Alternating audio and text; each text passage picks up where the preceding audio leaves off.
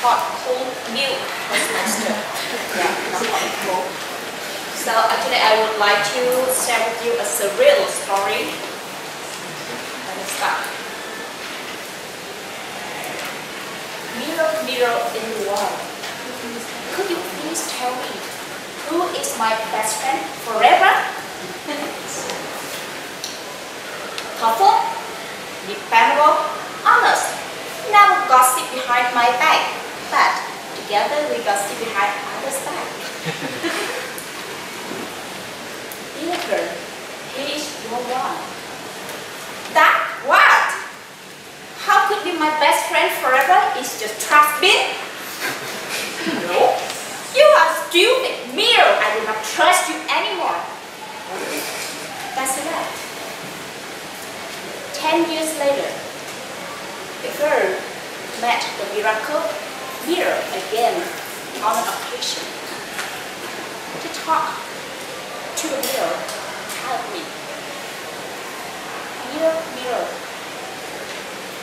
could not be any truly great friend in this big world?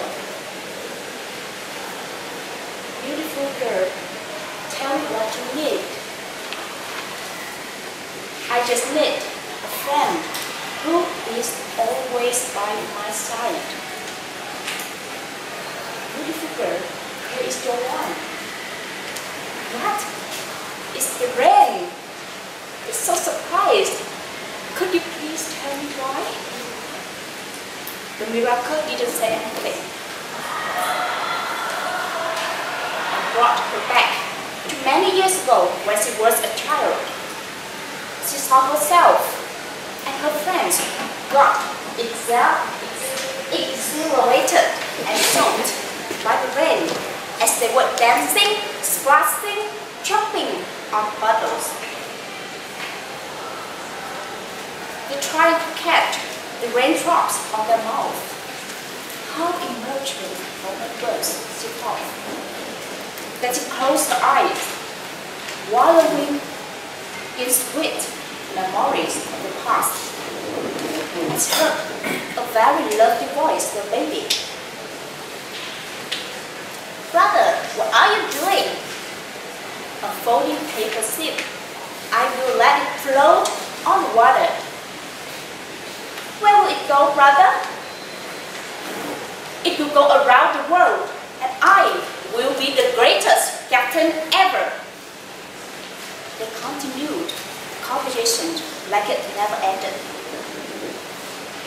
That moment was very peaceful, that she wanted to hold it forever. However, the miracle mirror didn't let her dream last long. It very fast, it turned to another chapter. That was five years ago, on the day that she lost her first love. She saw herself slamming the door, running away, and makeup running down on her face. She couldn't help her from falling down slowly. Then suddenly it rained. It started pouring, and the raindrops kept on falling on her head, going through the rain. And she felt that there was someone trying to help her. Wash away the pain, healing her soul, and trying to bring her back to the happiness. The miracle mirror didn't show any memories and it left her alone in silence. And suddenly she thought that she needed to clean her face up put on a smile, and get refreshed. She wanted to get wet, to be free like a kid, and to feel the rain. Very happy, she realized that her best friend forever is the rain. Fellow Toastmaster and guest, people always put a very high expectation, not only on themselves, but on the others. For example, a girl, they need a boyfriend who is romantic, clean and white,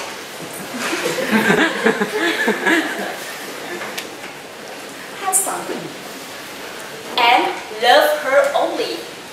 A wife, what they need. They need a responsible husband who always please her, love her all night long, but never betray her.